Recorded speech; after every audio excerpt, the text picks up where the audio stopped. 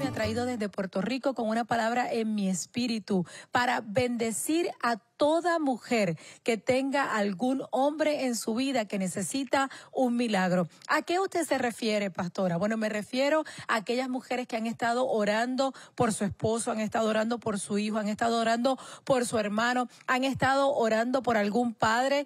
Hace un ratito recordaba que justo hoy, Justo en este día se cumplen 35, 31 años del día en se cumplen 33 años del día en el que se llevaron a mi papá preso. Imagínese usted. Así que hoy, un día como hoy, comenzó una osadía que para mí duró 11 años de orar constantemente por un padre. Yo puedo ver ahí en mi espíritu mujeres que han estado orando quizás por su padre, quizás por un hermano que necesita un milagro, por un hijo que tiene algún problema, que sea por un esposo. Y puede ser cualquier tipo de situación. En el caso de mi papá fue un error que cometió que le costó su libertad por 11 años, pero es posible que tu oración vaya dirigida para que sea libre de alguna enfermedad o que sea libre del alcoholismo o que sea libre de las drogas o que se pueda levantar financieramente. Quizás nunca ha podido tener un trabajo fijo, nunca ha podido hacer algo por demasiado tiempo, quizás hay un problema de adulterio, quizás hay un divorcio que está ahí imperante. Yo no sé, mujer qué milagro tú estás esperando en la vida de algún hombre en tu vida, pero creo con todo mi corazón que la palabra que Dios ha puesto en mi corazón y en mi espíritu en el día de hoy va a traer esa libertad y va a levantar a ese hombre. Vayan conmigo ahí a Juan capítulo 12, quiero leer unos versos, quiero compartir unos pensamientos y entonces vamos a abrir las líneas para que tú puedas comunicarte, para que tú puedas llamar, para que tú puedas presentar tu petición de oración y también puedas presentar tu semilla de fe. Me gusta mucho el trabajo que está haciendo Enlace específicamente con la tecnología. Y si tú dices, pastora, yo no voy a llamar, yo voy a escribir en el WhatsApp ahora mismo, probablemente dentro de un ratito, incluso yo hasta voy a poder ver tu nombre por aquí y mencionarte si lo haces a través de WhatsApp. Juan capítulo 2, el verso 1 al 8 dice de la siguiente manera. Seis días antes de la Pascua vino Jesús a Betania, donde estaba Lázaro, el que había estado muerto y a quien había resucitado de los muertos. Y le hicieron allí una cena.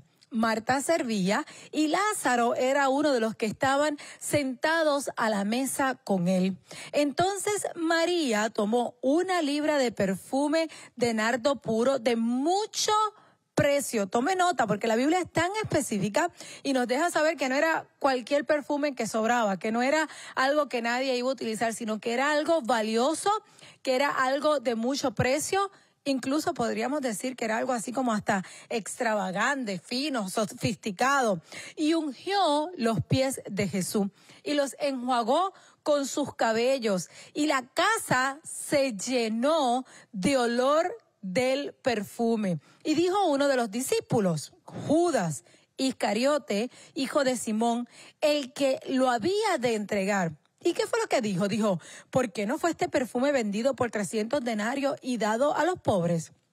Pero dijo esto no porque se cuidara de los pobres, sino porque era un ladrón y teniendo la bolsa sustraía de lo que se echaba en ella. Mucha de esa gente que critica al que ofrenda, que critica al que hace cosas, no es porque ellos estén haciendo las cosas que creen que otros deben hacer, sino porque hay algo mal en su corazón. Y continúa diciendo, déjala para que el déjala, para el día de mi sepultura ha guardado esto, porque a los pobres siempre los tendréis con vosotros, mas a mí no siempre me tendréis. Dios puso en mi corazón esta escritura en el día de hoy, justo en el día, como te decía hace un rato, donde se cumplen treinta y pico de años del día en que a mi papá se lo llevaron preso. Mi papá estuvo preso por once años cuando me hice novia del pastor Otoniel. El pastor Otoniel una de las cosas que hizo fue que viajó conmigo hasta donde mi papá se encontraba preso para pedir mi mano, porque el hecho de que él había cometido un error no quería decir que los valores de mi familia hubiesen cambiado y nosotros cuando nos casamos hicimos todo como tenía que ser. El único detallito fue que mi papá no me pudo entregar en el altar porque estaba preso y en aquel momento mi único hermano, en inglés se dice, tuvo que step up to the plate, tuvo que cumplir con la función de ser ese hombre que entrega a su hermana ahí en el altar. ¿Por qué menciono esto? Porque esta historia es muy particular. Vemos que están preparando una cena una cena especial. Y lo que leemos en este texto, lo que nos está diciendo es que en aquella cena se estaba celebrando un milagro, se estaba celebrando el milagro de un hombre que había estado muerto y que ahora había resucitado, se estaba celebrando el milagro de aquel que ya no tenía vida y que el poder de Dios cuando se metió en su vida cambió todo completamente. Es muy probable que tú has escuchado acerca de estos tres hermanos, Lázaro, Marta y María, y conocemos muchos detalles de la historia de cada uno de ellos. En este momento, el momento del milagro, el momento de la celebración, el momento donde ya había pasado la crisis, donde ya habían pasado ese portal. Yo sé que muchos de ustedes, muchas mujeres que me están viendo en el día de hoy, tú todavía estás en el momento de la crisis, tú todavía estás en el momento del problema, tú todavía estás en el momento en que quizás hay un hombre en tu familia que está pasando por un problema de alcoholismo o está pasando por un problema de drogas o ha tomado decisiones equivocadas o está en adulterio y tú sabes lo que está pasando y te limitas simplemente a orar y a creer que Dios va a tocar la vida de él. Pero este momento que vemos aquí es el después, el después del milagro, cuando están todos ahí celebrando que Lázaro ya no estaba muerto, sino que Lázaro había regresado a la vida. Y muchas cosas eran diferentes obvio, Lázaro era diferente, pero muchas cosas permanecían igual. Fíjate que nos dice que Marta todavía seguía sirviendo y María continuaba a los pies del maestro. Así que esta mujer que tomó ese perfume de nardo puro, ese perfume tan precioso, tan sofisticado, tan costoso, tan extravagante, y me gustan mucho los detalles que nos muestra la Biblia, esa mujer era la misma que antes había estado a los pies del maestro y hoy todavía estaba a los pies del maestro. Pero hoy tenía algo diferente. Tenía en su mano una ofrenda extravagante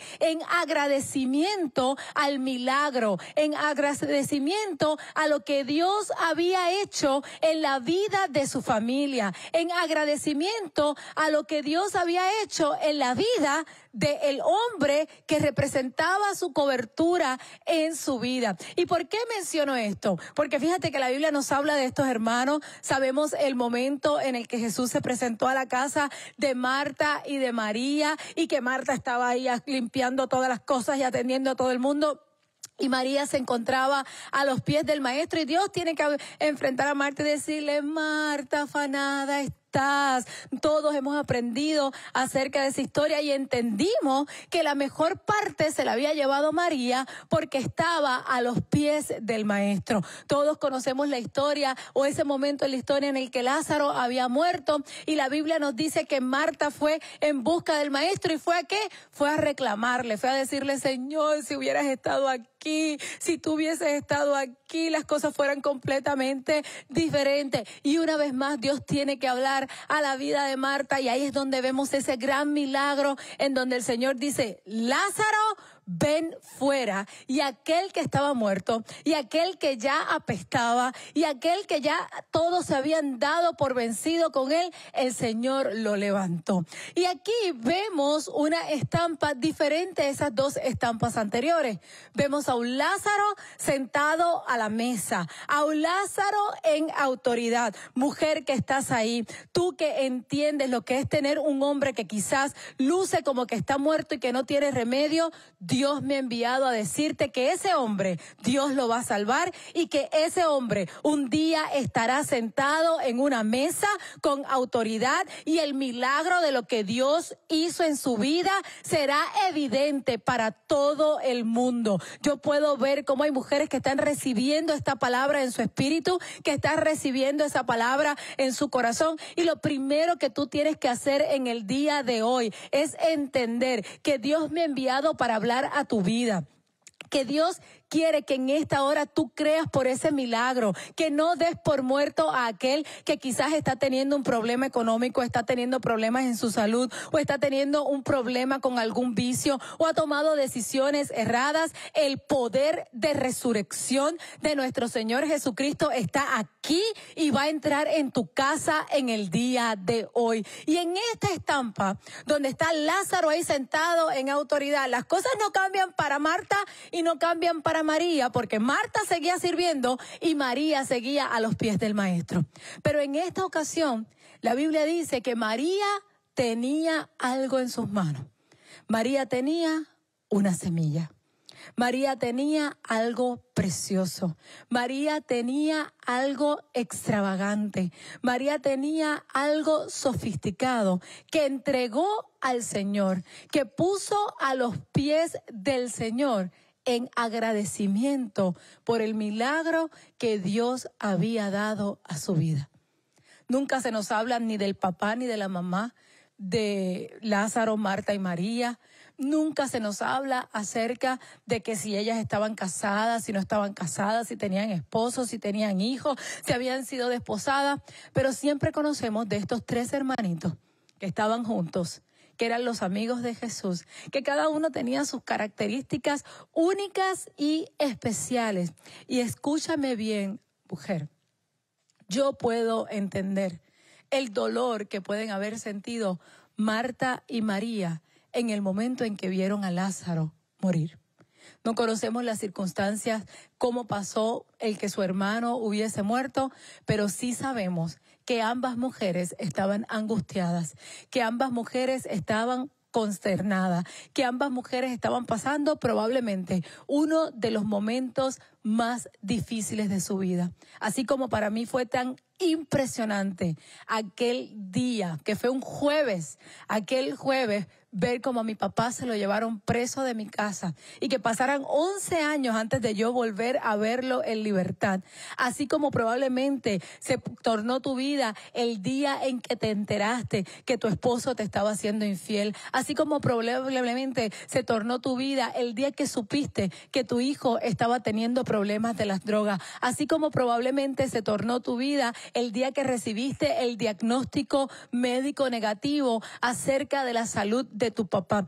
Yo no sé qué milagro tú necesitas en el día de hoy. Yo no sé qué hombre está atado. Yo no sé qué hombre tiene una sentencia de muerte sobre su vida. Lo que sí sé es que el Dios de los milagros, el Dios que resucita, está aquí y va a ser el milagro en tu casa en el día de hoy. Quiero que toda mujer que tenga un hombre que tú sabes que necesita un milagro, si es tu esposo, si es tu papá, como fue para mí hace 31 años atrás, si es un hermano tuyo, si es tu primo, si es el hijo de tu amiga, si es tu propio hijo, si es tu sobrino, yo no sé cuál sea ese hombre, pero yo quiero que tú lo traigas al altar en esta hora. Yo quiero orar, yo quiero ponerme de acuerdo contigo, yo quiero que en esta hora, como hizo María, tú estés ahí a los pies del maestro, pero lo hagas con algo precioso en tu mano, sea cual sea la semilla que tú tengas para sembrar en esta hora, siembra en fe, siémbrala creyendo que un día vas a ser tú la que vas a ver a tu Lázaro sentado ahí en autoridad a la par de Jesús y haciendo el milagro de la resurrección evidente. Porque mientras otros han dado diagnóstico de muerte sobre tu familia, hoy Dios te dice, el poder de la resurrección ha llegado a tu casa. Corre al teléfono, corre al teléfono en esta hora. Si tú tienes ahí la aplicación de WhatsApp, ve directo al WhatsApp, comienza a escribir. Y cuando presentes tu semilla, yo quiero que tú la presentes con el nombre y apellido de ese hombre. Nosotros vamos a orar, nosotros vamos a creer, nosotros nos vamos a poner de acuerdo contigo, nosotros vamos a creer en esta hora, que así como Jesús se paró frente a aquella tumba y llamó a Lázaro, hoy el tuyo, tu esposo, tu hijo, tu hermano, tu papá será llamado a la vida y tú lo verás sentado en autoridad a la parte de Jesús.